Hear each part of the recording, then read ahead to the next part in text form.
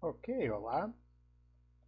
Chegamos hoje ao último filme do nosso programa, que vai ser o sétimo selo do Ingmar Bergman, filme de 1957.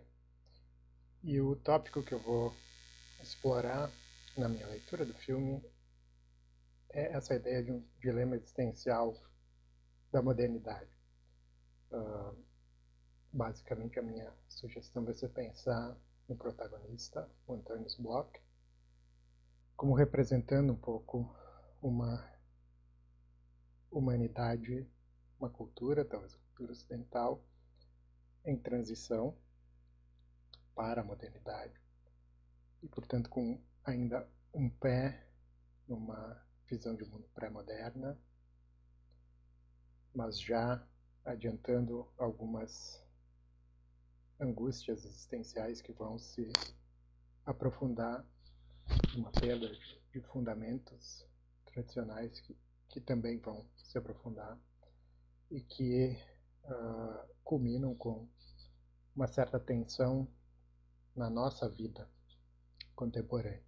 Então, esse é um filme que, apesar de ser ambientado na era medieval, e apesar de ter sido lançado já há mais de 70 anos, certo? Eu acho que tem algo de importante a dizer sobre o presente, sobre a nossa condição.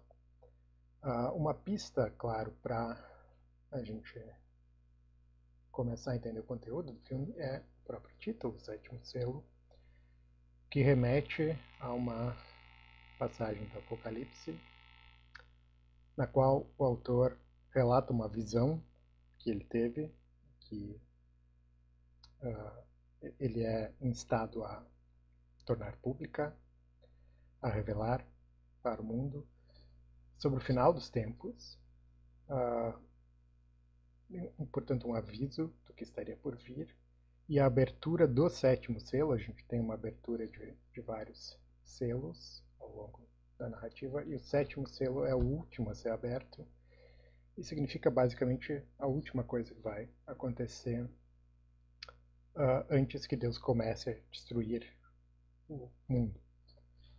Uh, começa com um período de, de silêncio total, e o silêncio vai ser importante nesse filme. Nós vamos ver desde o início o, o, o, uso do silêncio ao longo do filme.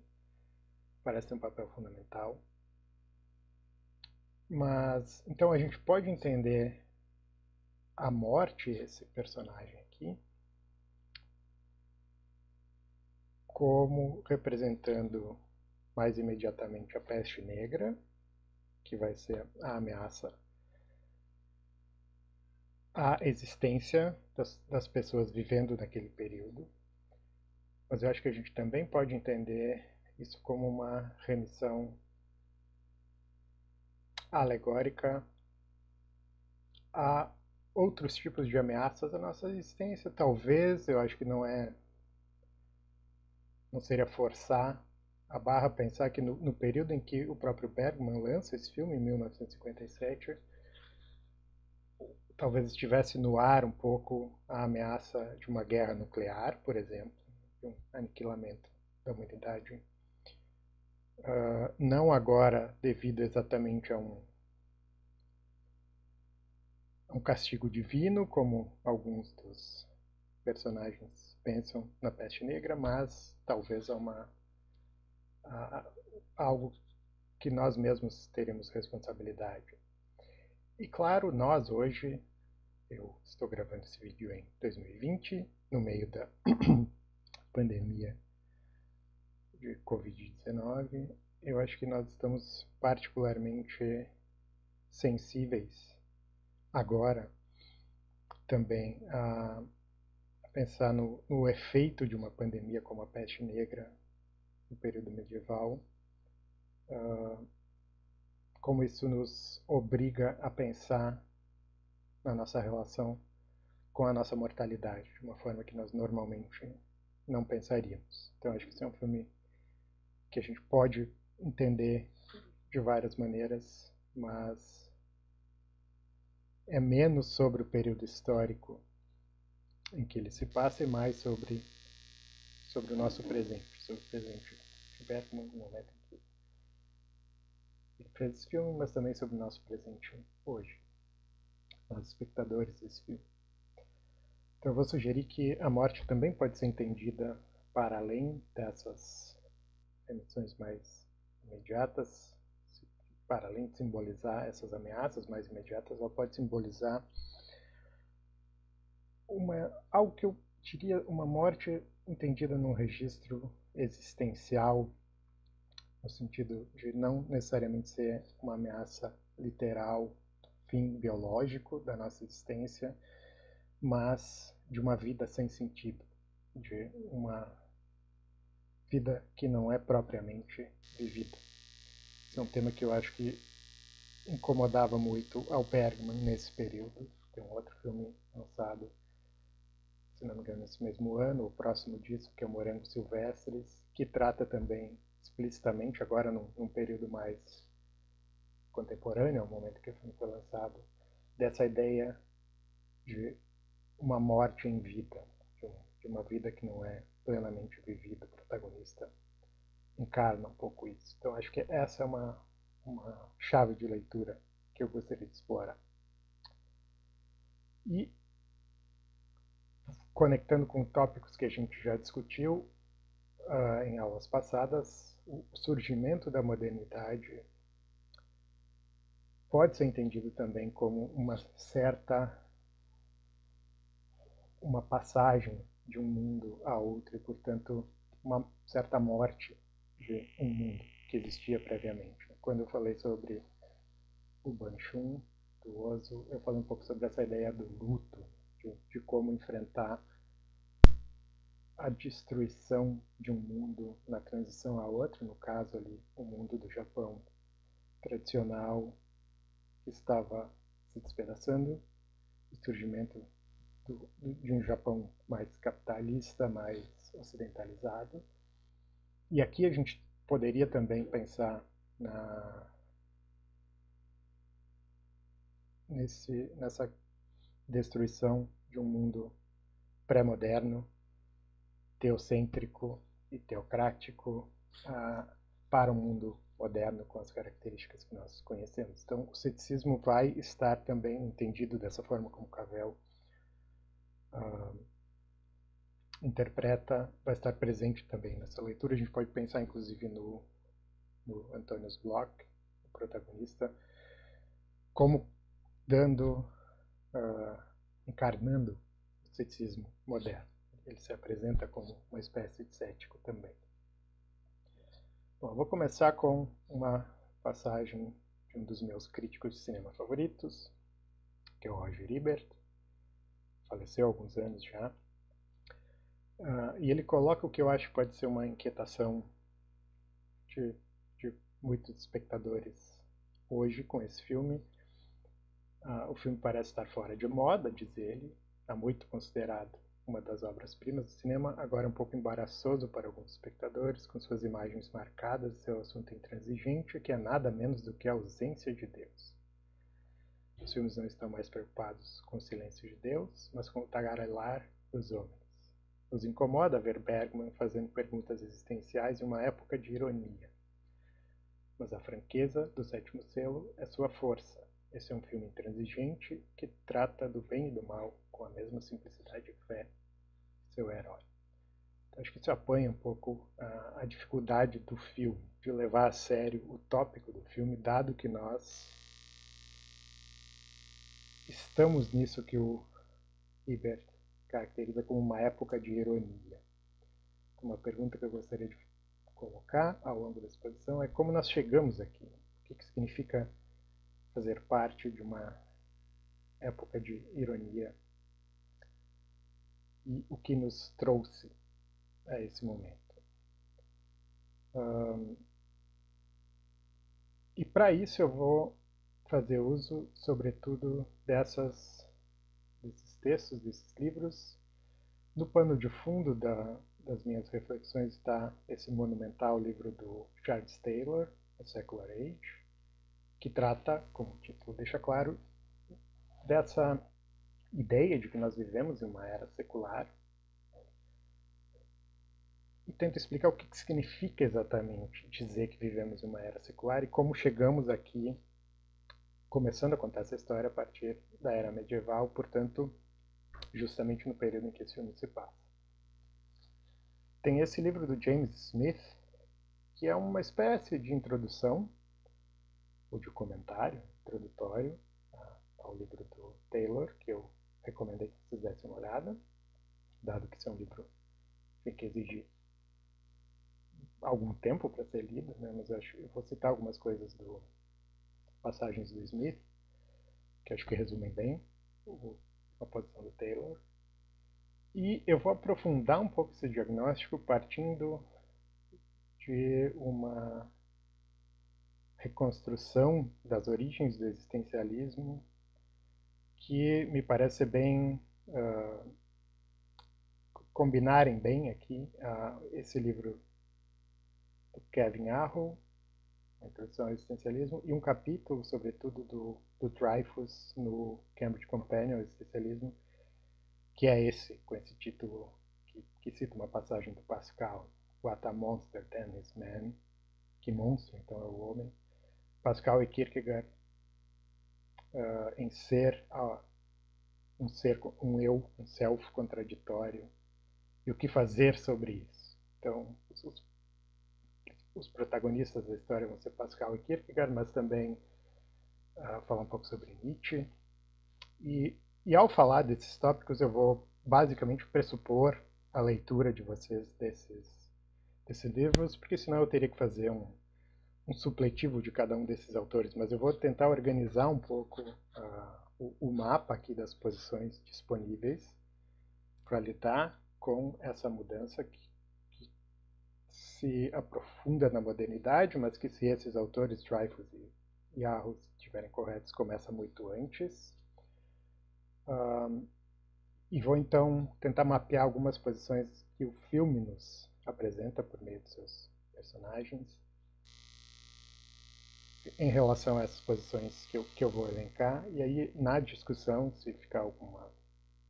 Uh, se vocês quiserem aprofundar algumas dessas, alguma dessas posições, a gente pode fazer isso. Então, eu começo com uma espécie de prólogo aqui, a partir do, do Taylor Smith, sobre uma tensão que caracterizaria a nossa era secular e que me parece é a tensão centralmente apresentada no filme, em particular na figura do protagonista, o Antonius Block, que é uma passagem do Smith em que ele resume um pouco os objetivos do Taylor no Secular Age.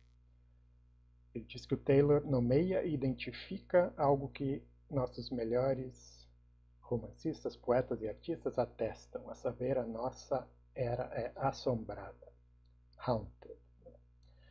Por um lado, vivemos sob um céu de bronze, abrigados em imanência. Vivemos no crepúsculo tanto dos deuses quanto dos ídolos. Então, viver em um céu de bronze, que essa é uma remissão a uma passagem do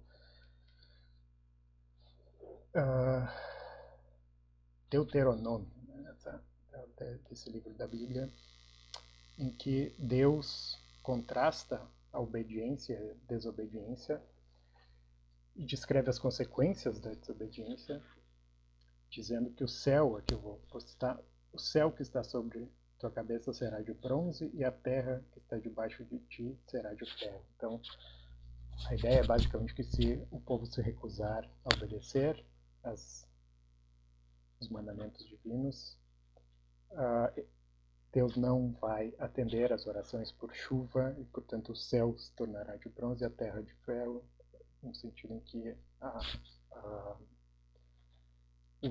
a terra ficará completamente infértil. Mas isso, aos, com o tempo, essa passagem é citada e começa a adquirir o sentido de apontar justamente para o silêncio de Deus, algo que o Ibert colocava no a sua passagem também, que é muito claro aqui no filme. Então, viver sob um céu de bronze é viver sob um céu que já não fornece mais um não está mais aberto para uma conversa com Deus. Né? Então, nós vivemos uh, abrigados em imanência, separados de Deus no crepúsculo dos deuses e dos ídolos. Esse é um tema, vocês podem perceber, importante em Nietzsche, por exemplo. Então, por um lado, nós vivemos sob o céu de bronze, por oposição à, à, à forma como a nossa cultura se organizava antes da modernidade.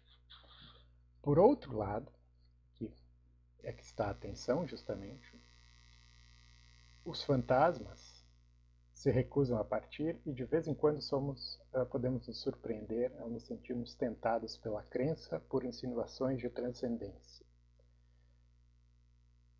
Então, por outro lado, mesmo que a fé permaneça em nossa era secular, acreditar não é fácil. A fé é assombrada por um inescapável senso de sua contestabilidade. Então, nós temos a ideia de que a nossa era assombrada tem a ver um pouco com essa instabilidade que vários de nós podemos sentir, mesmo ateus militantes, talvez em alguns momentos nas suas vidas sintam algum tipo de vazio, uma, isso que aqui Smith descreve como uma insinuação de transcendência. Smith dá vários exemplos uh, da, da música popular, que isso é apresentado, esse sentimento, ou, ou da cultura popular sobre Steve Jobs, por exemplo, numa entrevista. Uh, e, e, alguns outros exemplos desse tipo. Então, a ideia é que nós vivemos numa era que é tensionada por essa por essas duas atitudes. Né? Por um lado, uma um abrigo na imanência, mas por outro lado, insinuações de transcendência e o sentido em que para o Taylor nós vivemos numa era secular não é exatamente o sentido em que todos nós somos ateus ou agnósticos, o que obviamente é falso, mas é no sentido de que mesmo alguém que hoje acredita, que tem fé, seja qual for a sua profissão de fé, deve ficar claro para essa pessoa que essa é uma opção dentre outras. Ela, ela sabe que há muitas outras opções. E nesse sentido, há sempre o risco, pelo menos, a, a, a, potencialidade de se dar conta de que essa não é a única forma de viver, de compreender a nossa existência. E aí é que está a diferença entre a nossa era e uma era pré-moderna, pré-secular, em que, pelo menos na civilização europeia da época, uh, era praticamente impossível, era praticamente uh, um, contrassenso à ideia de um mundo sem Deus. Como poderíamos viver em um mundo sem Deus? Quando que para nós é muito mais difícil o oposto, pensar que, em particular, que todo, que só há um Deus, que todos nós uh, deveríamos ter as mesmas crenças. Então, nós, mesmo alguém que acredita está sempre, a sua experiência está marcada por esse senso de contestabilidade da crença. E é isso então que caracteriza a era secular. Essa, essa tensão, segundo o texto. Uh, e isso, o começo da história, tem a ver com o que o Taylor descreve como obstáculos à descrença. Essa dupla negação aqui é um pouco o que que na era medieval dificultava a descrença. E, e ao progredirmos na história, ao avançarmos na história, esses obstáculos vão sendo derrubados e por isso a descrença se torna na era secular a posição default, né? a posição uh, de, de, ponto de partida. Não necessariamente a posição majoritária, mas é a posição mais fácil. Nós precisamos fazer um esforço adicional agora para justificar para nós mesmos e para os outros a crença e a fé, quando que no período medieval era o contrário. Alguém que não acreditasse teria que fazer um grande esforço para justificar essa atitude. Então, alguns uh, algumas marcas dessa do período medieval são esses três, a ideia de que o mundo natural era entendido como um cosmos que funcionava semioticamente, como um sinal que apontava para além de si mesmo. Então a ideia de que a natureza é uma espécie de livro que pode ser decifrado e que ao ser decifrado pode nos dizer algo sobre o Criador do mundo, sobre o seu plano divino, por exemplo. E aí eu tenho sinais, coisas que acontecem são sinais. Isso já passando para o filme, vocês veem em alguns momentos se fala um pouco dos, dos, sinais, né? Ah, um, um, bezerro que nasce com duas cabeças e coisas desse tipo são sinais de, de que algo está errado. Então essa é um pouco a ideia. O cosmos pensado semioticamente, a sociedade era entendida como fundamentada em uma realidade superior. Então, em certo sentido, os reinos terrenos seriam reflexos de um reino celestial, a hierarquia uh, terrena a diferença de posição, de casta social, reflete uma certa hierarquia divina também. Uh, isso justifica um pouco a manutenção dessa hierarquia, isso justifica a, a autoridade teocrática das monarquias, por exemplo. E, em suma, nós vivíamos em um mundo encantado. Essa é uma, uma expressão do Max Weber, que depois eu vou voltar que, que, o que aconteceu aos poucos é que o nosso mundo foi se desencantando. O mundo era antes visto como carregado de presenças, como tendo, contendo esses sinais, como sendo aberto, vulnerável, e não fechado e autossuficiente. E ser fechado e autossuficiente é exatamente uma descrição que se aplicaria perfeitamente, me parece, ao que nós já discutimos numa, numa aula passada, o Heidegger caracteriza como a nossa visão contemporânea da era da técnica, na qual tudo se torna recurso, inclusive nós, uh, não há mais espaço para o sagrado, não há mais espaço para outras maneiras de nos relacionarmos com o ser, que não como meio para o fim de, de otimização, de eficiência. Então, esses elementos, dentre outros, acabaram sendo, como eu disse, esses eram por causa dessas características da nossa visão de mundo, acreditar era mais fácil, era, como eu disse, o, o, a posição default. Alguém precisava fazer um esforço, porque claramente havia sinais. As pessoas simplesmente. Uh, era óbvio que uh, o, certos acontecimentos eram, por exemplo, milagres ou uh, indicações da ira de Deus e assim por diante. Isso, isso, era parte da forma como as pessoas se movimentavam no seu mundo. O mundo era simplesmente percebido e experimentado dessa forma.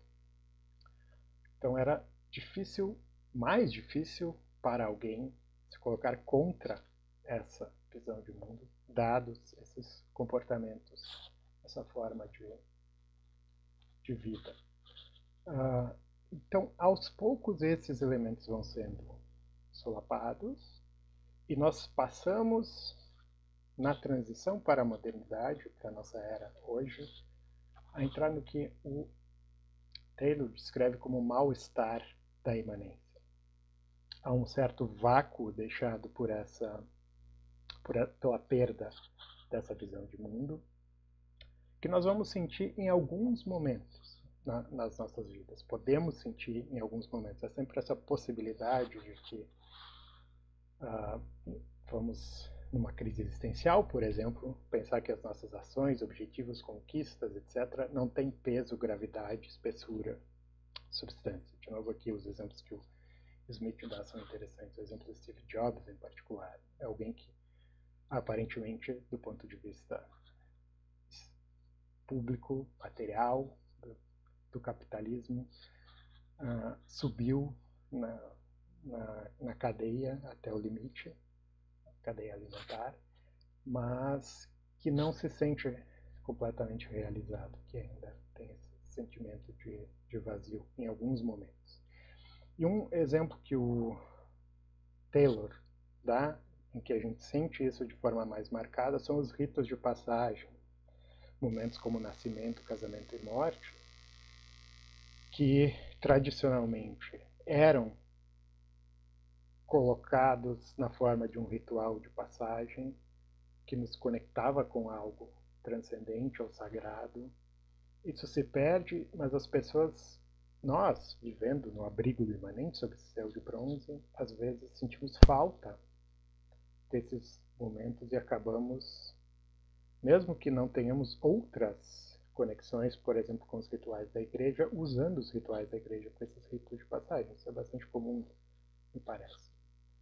Uh, as pessoas às vezes casam na igreja, é o único momento em que elas vão para a igreja, talvez. Ou mesmo que não seja na igreja, mas certas simbologias são mantidas do, do casamento uh, no, no, no, contexto de, de crença, de fé. Isso, então, esses são momentos específicos nas nossas vidas, na nossa cultura, em que nós podemos sentir isso, e algumas pessoas vão sentir isso, como eu disse, em alguns momentos de forma mais marcada. Por exemplo, no, no vazio do consumo, nos darmos conta de que, uh, por exemplo, fazemos um enorme esforço para comprar um bem que nós achamos que vai nos realizar, um carro, uma casa, seja lá o que for e quando a gente consegue esse bem, há um sentimento de que isso, isso não nos completou, de que ainda falta alguma coisa. Então, esse seria o mal-estar da imanência, algo que nós todos estamos sujeitos hoje, em um momento ou outro, a, a sentir esse tipo de vazio.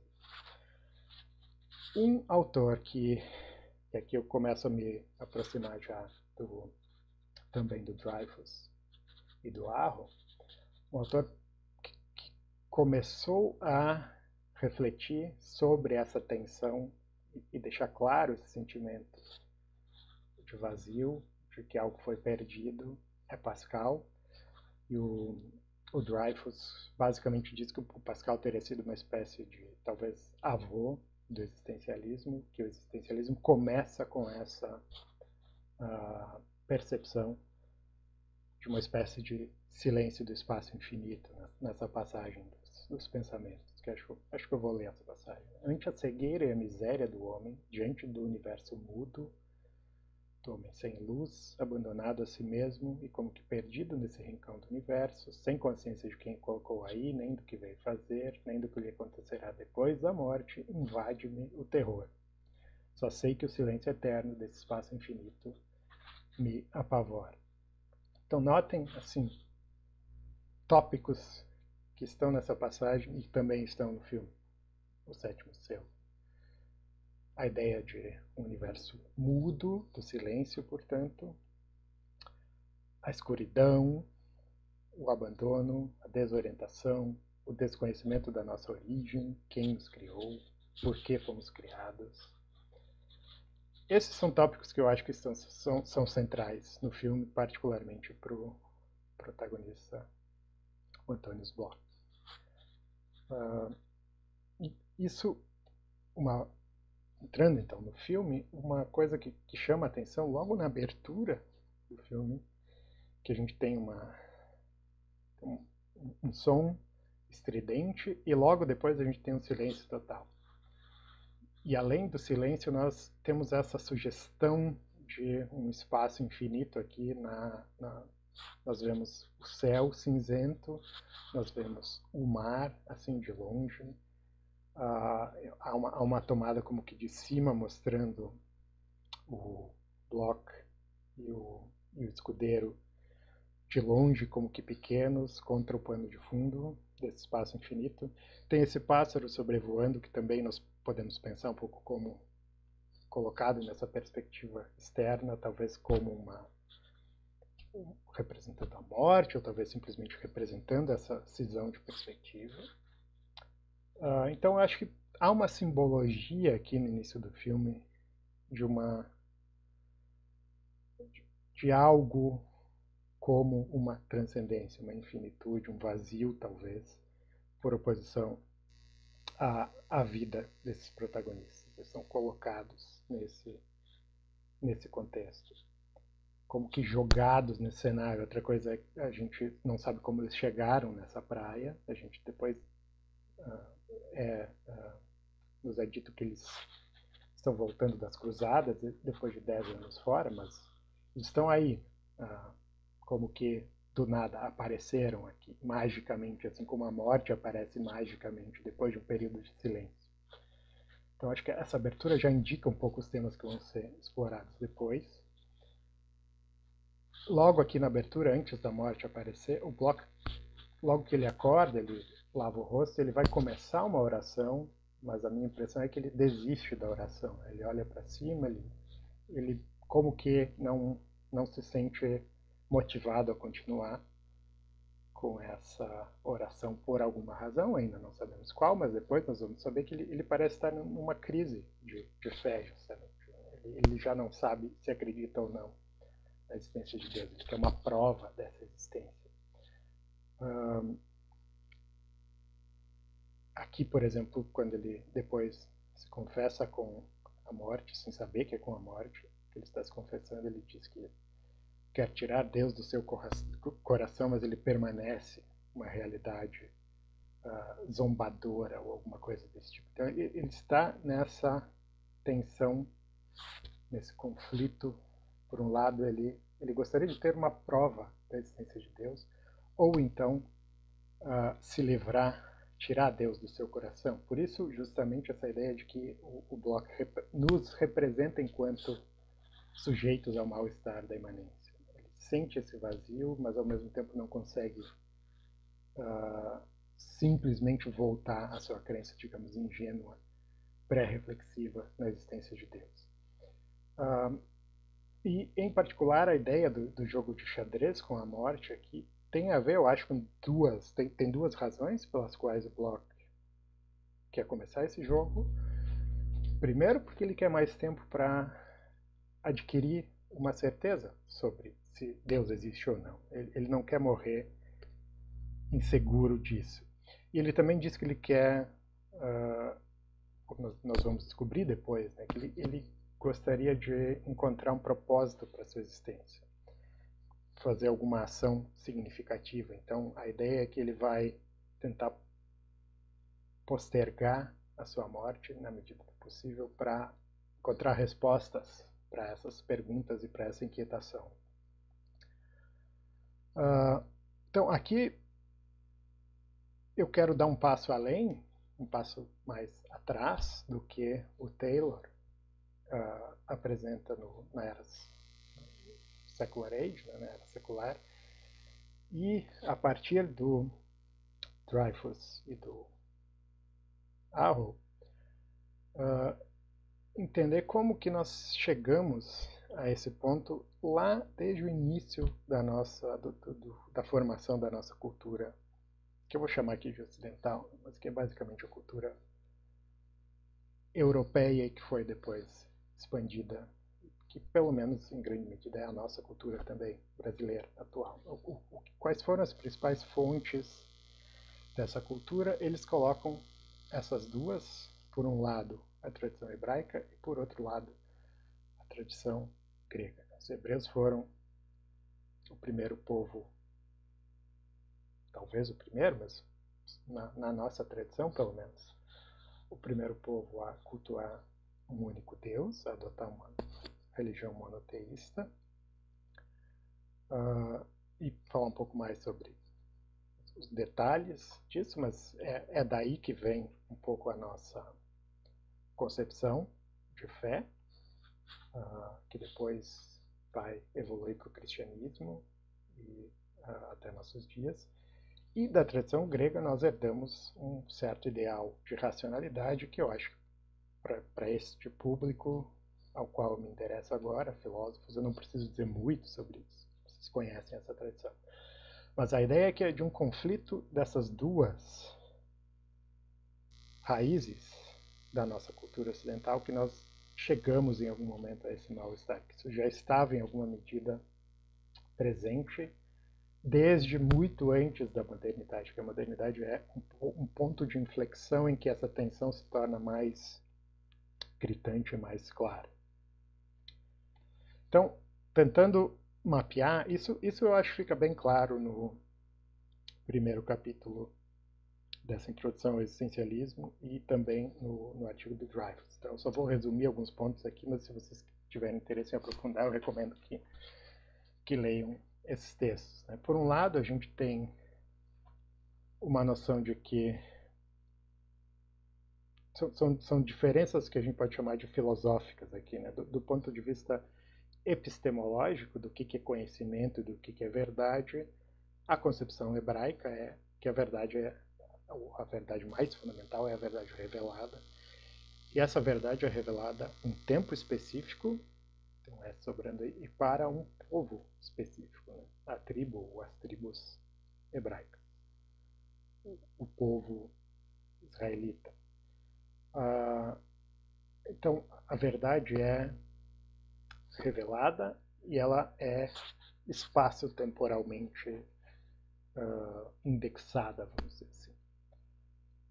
A vida é essencialmente encarnada e há uma expectativa de um compromisso, de um engajamento total na nossa vida. Não há uh, nessa, no início dessa tradição, uma concepção de uma vida após a morte. Uh, e as regras morais são particulares, de novo, e dizem respeito a um, te, a um tempo aqui e a um povo específico, de novo. Né? Os Dez Mandamentos, por exemplo, não são concebidos originalmente como regras universais para todos os seres humanos. São regras para aquele povo, naquele contexto. Claro que isso tudo vai mudando ao longo do tempo com a, com a teologia, que é justamente uma forma de tentar conectar a tradição grega com a tradição hebraica, gerando o cristianismo. Mas inicialmente a gente tem, colocando da forma mais contrastante, essa concepção contra uma concepção da, do ideal grego de racionalidade como sendo justamente surgindo de um rompimento com o pensamento mítico religioso. Vocês todos já devem ter ouvido essa história que normalmente se conta, né, da filosofia como se opondo à mitologia, as verdades buscadas pela tradição grega seriam verdades universais, atemporais, eternas. Nós somos seres corpóreos, mas o que há de essencial, talvez, na nossa existência não é a nossa corporeidade, mas sim a nossa capacidade de abstração, de reflexão, distanciamento do mundo sensível, portanto, a, a, culminando numa teoria, uma visão especulativa. Isso fica bastante óbvio em Platão, e a gente pode discutir detalhes aqui de como cada filósofo na tradição vai, vai conceber isso, mas acho que pelo menos como uma, um mapa inicial deve ficar claro esse contraste. E as regras e princípios da ação também são pensados como universais e racionalmente justificados. Né? Não, não são para o povo grego apenas, mas são pensados como tendo a ver com o aspecto racional dos seres humanos e, e nessa medida universais. Então, a minha sugestão é que nós, hoje, o eu moderno, nos encontramos ainda tensionados entre claro que eu estou generalizando aqui, né? mas, mas podemos a qualquer momento nos sentirmos mais tentados para um lado ou para outro.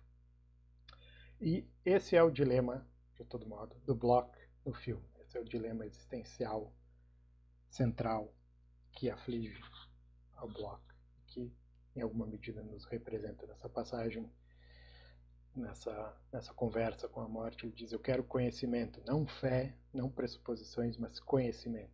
Quero que Deus estenda a sua mão, descubra, desvele a sua face, seu rosto e fale comigo. Então ele, ele, ele quer quase que uma prova empírica da existência de Deus. Ele quer justamente uma prova por meio dos sentidos. Se conecta com a concepção que eu, que eu já citei do Cavell, né, do surgimento do ceticismo moderno como buscando essa prova a partir dos sentidos.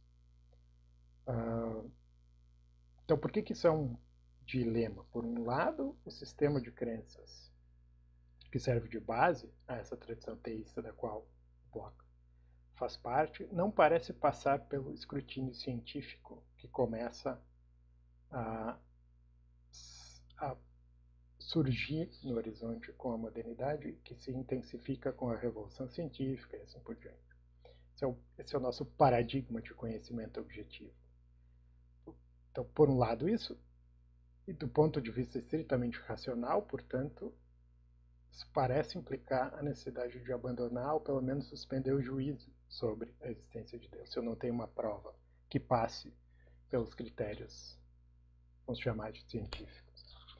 Por outro lado, se eu abandono uh, esse, essa crença, esse fundamento, isso cria um vácuo existencial e moral, uma perda de sentido de padrões para ação, que também em vários momentos do filme isso é colocado explicitamente.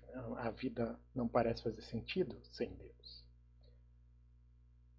Uh, o próprio Pascal, que sentiu isso de forma marcada, que deu expressão a isso originalmente, propôs uma saída em termos de uma aposta, que não é exatamente.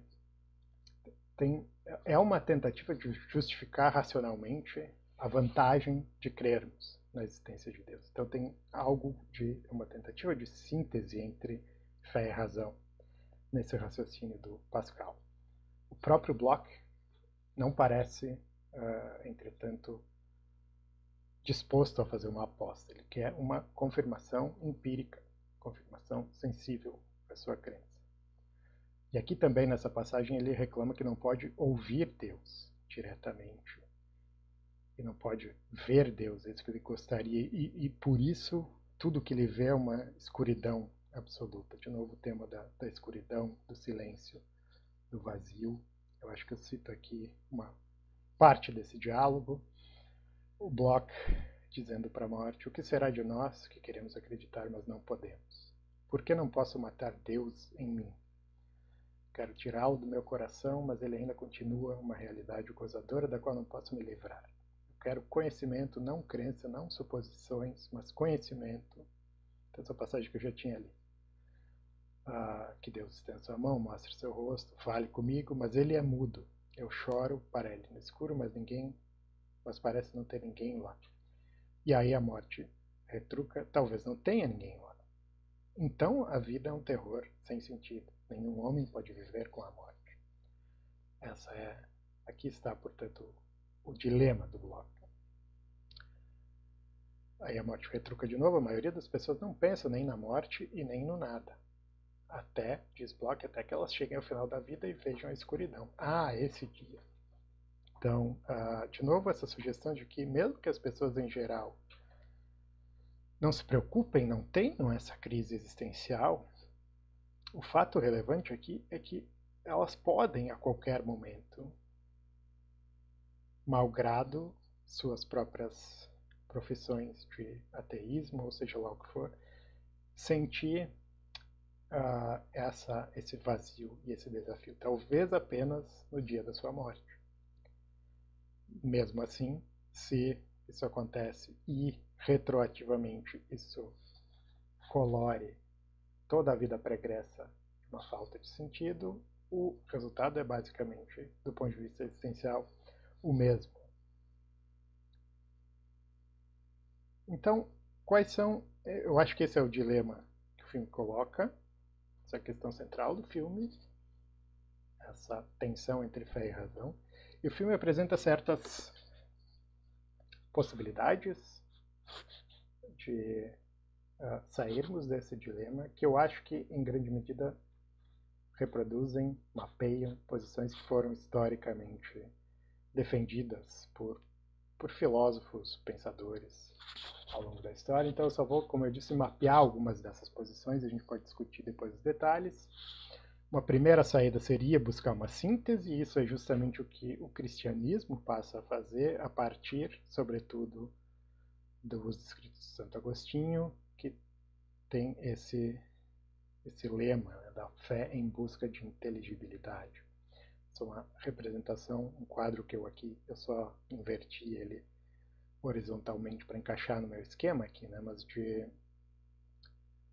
uh, do Santo Agostinho como que tentando uh, sintetizar esses elementos à primeira vista conflitantes da razão, representada aqui por essa luz, e, uh, e da fé, representada aqui pelo coração em chamas.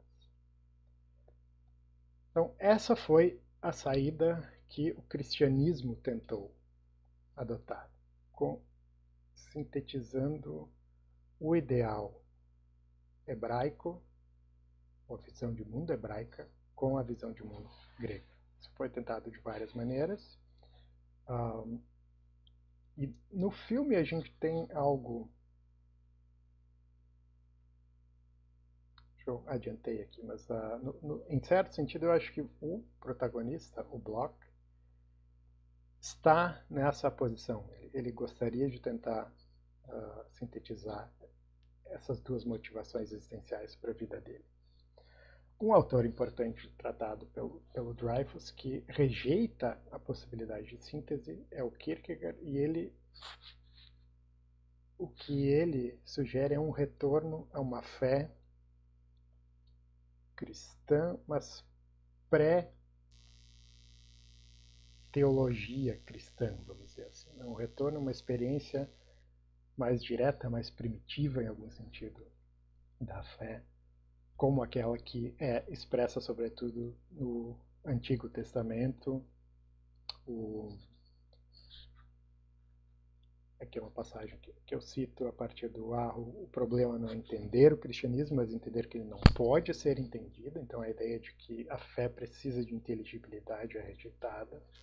Há uma sugestão de retomar uma experiência de certos estados de ânimo, de vulnerabilidade e temor, que são fundamentais no Antigo Testamento. O, o Kierkegaard comenta vários, várias histórias do Antigo Testamento, em particular a história de Abraão e Isaac. Abraão é uh, convidado ou ordenado a, a sacrificar o seu próprio filho para provar sua fé para se tornar o pai da fé, e ele aceita esse desafio, então ele, uh, ele tem um compromisso existencial que ele mesmo não consegue justificar racionalmente, que ele mesmo se dá conta que vai completamente contra qualquer expectativa ética e moral, mas ele adota esse compromisso, então ele dá um salto de fé. Isso é o que então propõe o Kierkegaard mais sobre isso, se vocês tiverem interesse, no, no artigo do, do Dreyfus, mas no filme, me parece, a gente tem duas versões de uma, de uma posição talvez próxima do Kierkegaard. Uma delas é a dos flagelantes, né, que, que eu estou aqui chamando de uma da fé em sua versão mais fanática.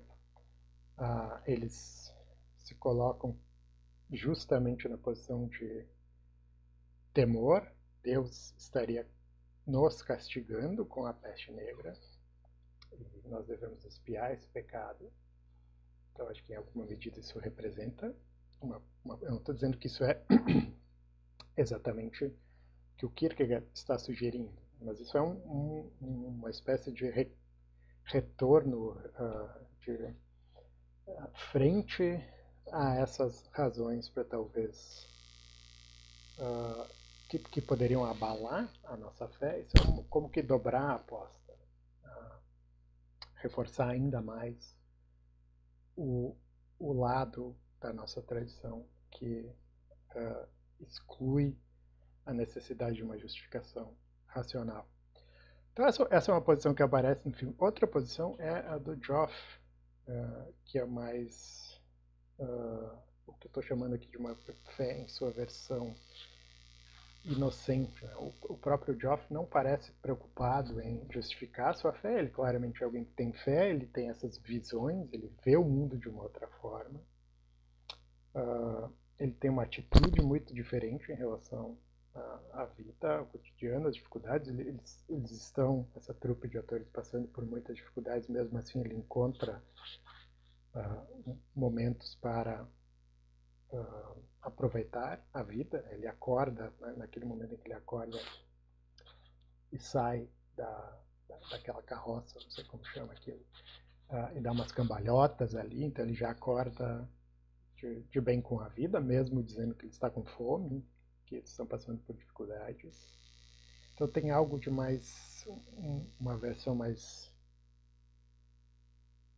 pré, uh, pré-teológica, não é uma uma tentativa de refletir sobre a, a, a motivação para sua própria fé, não há um ele simplesmente está alheio a um, uma dificuldade intelectual como a do a do Bloch.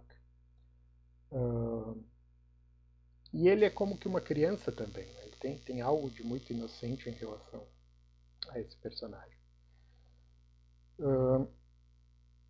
Uma outra saída possível seria radicalizar. Então, eu falei de dobrar a aposta no ideal hebraico da fé, a gente também pode dobrar a aposta no ideal grego, e isso, então, qual era esse ideal? O rompimento com o pensamento místico-religioso, a ideia de verdades universais, teoria, etc. Isso a gente pode pensar como sendo justamente a, o que o Weber chama de um desencantamento do mundo com o iluminismo.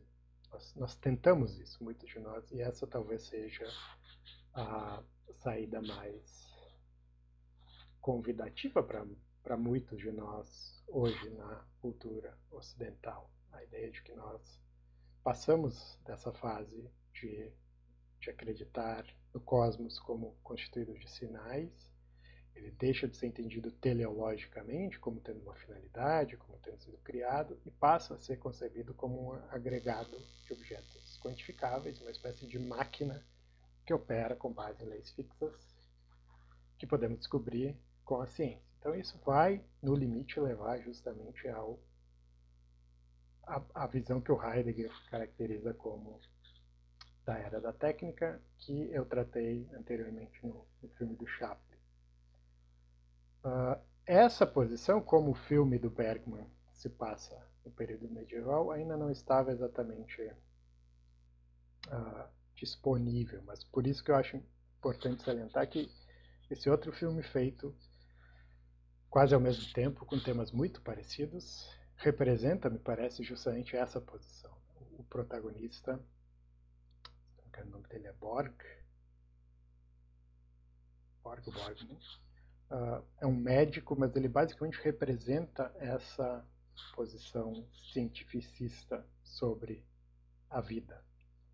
Mas isso o leva a sentir um vazio existencial mais próximo do final da sua vida e a gente acompanha uma viagem em que ele redescobre um pouco como ele chegou a esse momento, né? o que, que o levou a adotar essa perspectiva perante a vida e quais foram os qual foi o preço que ele teve que pagar em relação a isso, em particular, a, ele se dá conta de que ele acabou deixando de lado relações íntimas com, com membros da família, se tornou uma pessoa isolada e amarga. Então, esse é um filme que a gente pode proveitosamente, eu acho, comparar com o, o Sétimo Selo, porque parece estar preocupado com as mesmas questões e, e a relação da fé com a ciência aparece também nesse filme. Uma outra saída ainda seria a, a, saída proposta por Nietzsche, que não é nem fé nem razão, mas uh, uma revalorização dos nossos valores. Né? Uma, uma, a, é pensar, inclusive, na razão como uma espécie de ídolo. Acho que eu vou colocar isso em seguida. Isso aparece no, na passagem da Gaia Ciência sobre a morte de Deus, que eu já fiz alusão em vários momentos, mas eu quero finalmente lê-la, porque eu acho que nesse, com esse filme que nós vimos, ela é particularmente uh, importante aqui e vai ajudar a esclarecer alguns pontos. Então, vou ler de uma, de uma tradução que eu peguei aqui. A passagem aqui na tradução se chama O Insensato, né, o Louco, em algumas outras, que, como vocês sabem, desce da montanha, chega, chega à praça do mercado, encontra pessoas ali no mercado. E aí ele diz o seguinte: uh, procuro Deus, procuro Deus. Como lá se encontram muitos daqueles que não creem em Deus, o insensato desperta com isso uma grande gargalhada. Aí ele fala de novo: Para onde foi Deus? Já lhes direi: Nós o matamos, vocês e eu. Somos todos seus assassinos. Mas como fizemos isso? Como conseguimos beber inteiramente o mar? Quem nos deu a esponja para apagar o horizonte? Então, de novo, essa ideia de que nós, nós perdemos o horizonte contra o qual nossas vidas fazem sentido. O que fizemos nós ao desatar a terra do seu sol? De novo, uma imagem de, de perda de fundamento, de gravidade. Para onde se move ela agora? Para onde nos movemos nós? Para trás, para os lados, para a frente, em todas as direções? Existe ainda em cima e embaixo? Não vagamos como que através de um infinito, não sentimos na pele o sopro do vácuo? Não se tornou ele ainda mais frio? Não anoitece eterna, eternamente? Não temos que acender lanternas de manhã? Não ouvimos o barulho dos coveiros a enterrar Deus? Não sentimos o cheiro da putrefação divina? Também os deuses apodrecem. Como nos consolar a nós, assassinos entre os assassinos? Então, de novo, aqui várias sugestões de desorientação, de perda do horizonte de sentido, de vazio, de escuridão, de nós termos que artificialmente acender as lanternas porque não temos mais essa luz que tínhamos antes. E essa ideia final de que Deus, nós ainda, embora tenhamos matado Deus, nós, ele ainda está em processo de a putrefação. Nós ainda tem algo, nós ainda não nos livramos completamente desse cadáver de Deus. Ele ainda ah, cumpre papéis na nossa cultura que nós talvez ah, nós, os iluministas entre nós gostariam de pensar que não que ele não é mais necessário. Né? Por exemplo, a, a motivação para as nossas ações, para a moralidade, assim por diante.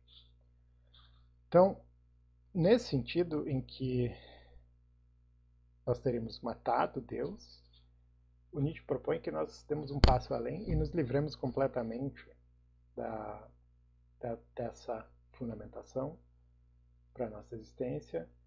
E passemos a compreender que tanto Deus e a fé quanto a racionalidade são ídolos, são construções humanas, são confortos metafísicos para esconder a nossa fragilidade, uh, e que a própria ciência não é que, que parece ter sido uma das causas para uh, a queda desses ídolos, ela mesma se torna um novo ídolo, a racionalidade se torna um novo ídolo a busca pela verdade abstrata, teórica, etc. É um novo ídolo que nós também precisamos superar. Ah, e isso, no caso do Nietzsche, seria uma forma de nihilismo, uma negação dos valores uh, até então considerados fundamentais para a nossa existência, sejam eles religiosos ou racionais. Uh, que nos torna completamente livres para vivermos uma vida como uma obra de arte, uma passagem famosa dele. Então, há uma espécie de nihilismo positivo, né, de a celebração da descoberta de que o que nós achávamos que eram valores absolutos são apenas criações e, portanto, uma responsabilidade de tomarmos as rédeas da nossa existência. De novo, são uma caricatura, um resumo uh, muito rápido, mais detalhes nesses textos que eu, que eu sugeri para vocês. Mas o que eu queria salientar aqui, voltando para o filme, é que o Jones, em certo sentido, abraça essa posição nihilista. Ele não é exatamente nihilista completamente resoluto, ele também tem as suas recaídas, isso eu acho interessante no filme, os personagens não são assim completamente unidimensionais.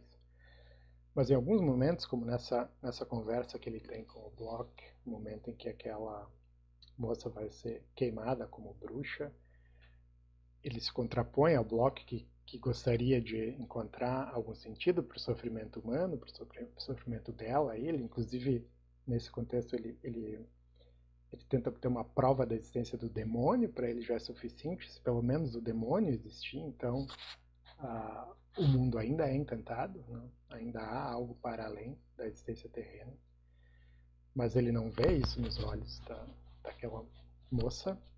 Uh, e o Jones diz que tudo que ele encontra aí é uh, o vazio, que ela se deu conta naquele momento do vazio. Então esse vazio é um pouco uh, um, um, resultado de um desejo por significado que não é suprido. É alguém que sente o vazio, e aí voltando para o Taylor, a ideia de que nós sentimos um mal-estar na imanência, é de uma falta, de um vácuo que já foi suprido em outros momentos pela crença, que uma vez que não é mais suprido, isso pode ser sentido como, nesse sentido, seríamos nihilistas negativos, né? alguém que ah, tem dificuldade em abraçar a falta de sentido por oposição a um nihilista mais positivo, que toma isso como uma oportunidade. Eu acho que o Jones vacila um pouco entre essas duas posições, mas às vezes ele se aproxima de, de abraçar a falta de sentido e ele é, em vários momentos, bastante cínico e sem esperança em relação ao futuro da humanidade. Nesse sentido, ele parece estar mais ainda num, num momento de, de luto, de, de enfrentamento dessa descoberta do vazio. Uma outra posição colocada no filme, centralmente, é, e aí de novo, a ideia dos morangos silvestres no filme, no filme Morangos Silvestres toma esse mesmo motivo aqui. Tem um momento em que eles compartilham uma, uma refeição de morangos silvestres e leite. E esse é o momento em que o Bloch parece tomar uma atitude de, que, que iria mudar para sempre sua vida, que é uh, encontrar o, o, que eu chamaria de sagrado no cotidiano.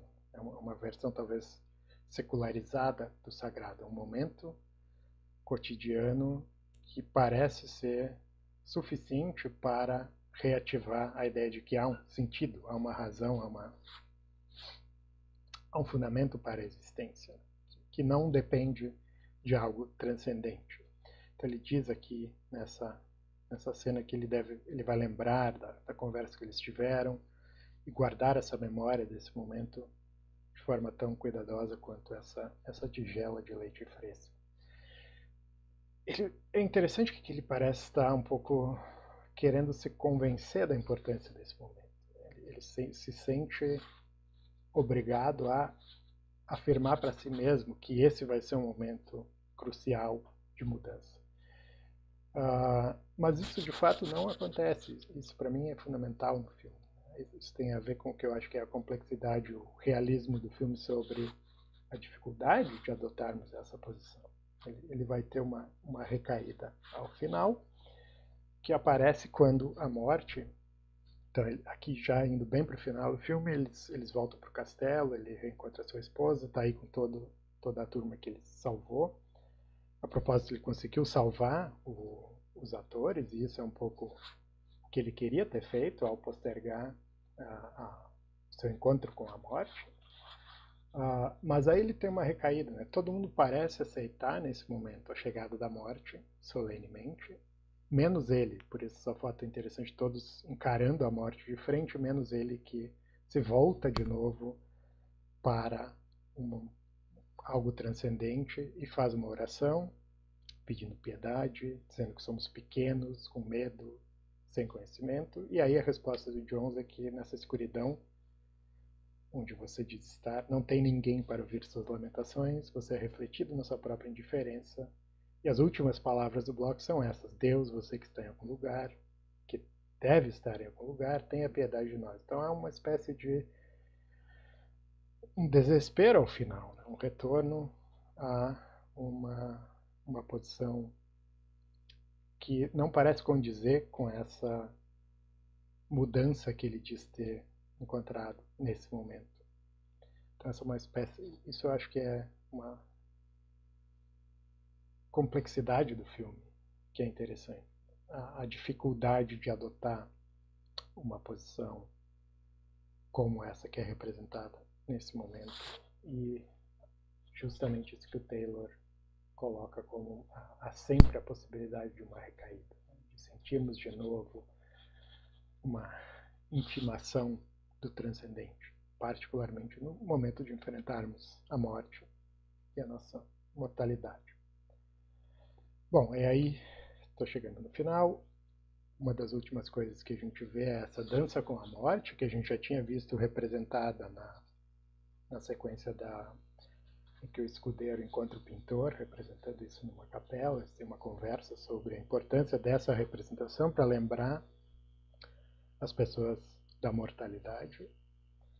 Uh, e uh, aqui, o, o, ne, só para lembrar, isso aqui é uma espécie de novo de visão que o Joff tem e relata a Mia. Ele diz: Eu os vejo bem ali sobre o tempestuoso céu, Estão todos aí, o madeireiro Elisa, o cavaleiro, Ravel, Jones e Scat.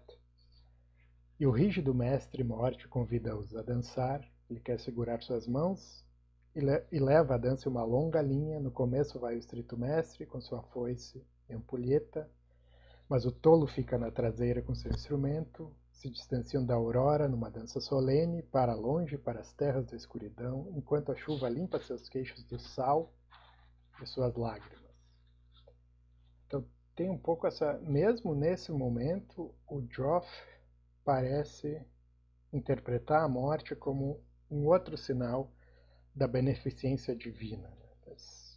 A chuva limpando os queixos de sal de suas lágrimas, a morte como que também sendo uma forma de eles se libertarem do sofrimento. Essa é, de novo, a perspectiva de alguém que se caracteriza por essa fé em versão inocente, como eu coloquei. Isso é quase o final do filme, eu acho importante que isso não seja o final. O final, propriamente, é essa sequência em que a gente vê. Então, os únicos que sobreviveram foram os atores. E acho que uma pergunta interessante para nós discutirmos é por que o Bergman escolhe uh, deixar a última palavra com os atores e, uh, e apresentar eles indo para seguindo o caminho. Ah, e bom, uma, uma sugestão, mas de novo para a gente discutir, é que a arte é uma forma de uh, refletirmos sobre esses temas de uma forma. Uh, o que esse filme fez, não, o que o Bergman fez com esse filme foi nos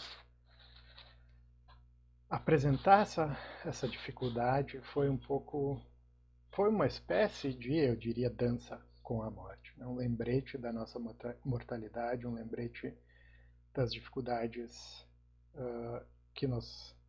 e das opções que nós temos disponíveis frente a essa ameaça constante da morte, sem necessariamente ser uh, propositivo, didático, ou, ou apresentando uma posição muito fechada, ou apresentando uma resposta definitiva, mas explorando essas dificuldades. Então, talvez a mensagem seja essa, mas eu gostaria de saber o que, que vocês, como vocês entendem esse final, e uh, podemos então depois discutir com mais detalhe as posições que, que o Bergman colocou nesse filme e talvez comparar um pouco também com o Morangos Silvestres. Acho que por hora é isso. Agradeço e até a próxima.